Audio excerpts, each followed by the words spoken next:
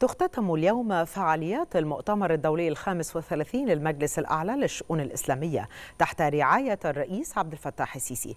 تناول المؤتمر عدة محاور أهمها دور المرأة في بناء الوعي الديني والثقافي ودور المرأة في خدمة المجتمع وبناء الأسرة وتنشئة الطفل والتجربة المصرية في تمكين المرأة وتعزيز قيم التسامح والتعايش وصنع وبناء السلام. هذا المؤتمر يأتي تحت عنوان المؤتمر الدولي الأول للوعظات دور المرأة في بناء الوعي. ويأتي انطلاقا من اهتمام الدولة المصرية بأهمية تمكين المرأة.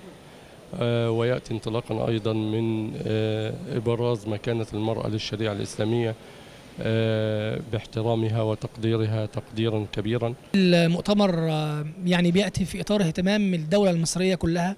ووزارة الأوقاف بدور المرأة في بناء الوعي. حضرتك عارف إن يعني المرأة لها دور مهم جدا في بناء الوعي لدى المرأة نفسها ولدى الأطفال ولدى المجتمع المصري بكامله يعني. فإن المؤتمر يأتي في هذه الآونة ليعالج قضية مهمة وهي قضية المرأة حتى يتم تمكين المرأة في جميع مناحي الحياة. ولن يكون هذا التمكين للمرأة إلا بالتمكن والكفاءة.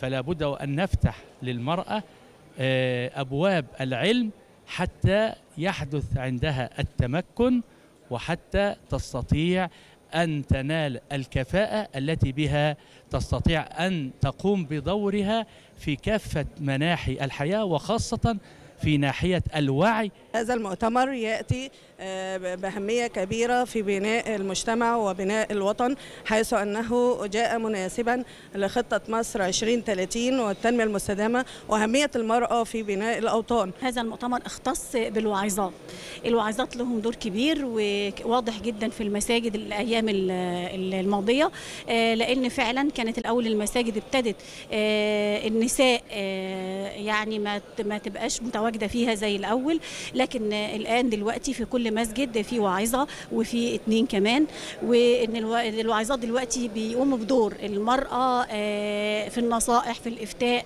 في المقارئ في قراءة القرآن. الحمد لله ربنا أكرمنا وإن إحنا بقينا واعظات في وزارة الأوقاف وده دور مهم جدا للواعظات. نزلنا المساجد لقيناها فعلا محتاجة حد للوعي لأن الناس اللي موجودين في المساجد أغلبهم يعني ما عندهمش الثقافة الدينية الكافية وفي حاجات كتير ما كانوش بيعرفوها فإحنا بحكم دراستنا وعلمنا اللي اتعلمناه ابتدينا نوضح لهم الحاجات دي كلها.